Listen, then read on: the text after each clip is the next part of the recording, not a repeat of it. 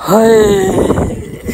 फितरत के मकासद की करता है नगहबानी या बंदा सहराई, या मर्द कोहिस्तानी इतनी ज़्यादा गर्मी है, लेकिन नेचर का अपना ही मज़ा है। यहाँ पे आया हूँ। सारी रिलैक्सेशन हो गई। सारी टेंशनें ख़त्म हो गई। सारी स्ट्रेस भाग गई। इसलिए कहा जाता है ना कि नेचर के करीब रहो। और खुश रहोगे।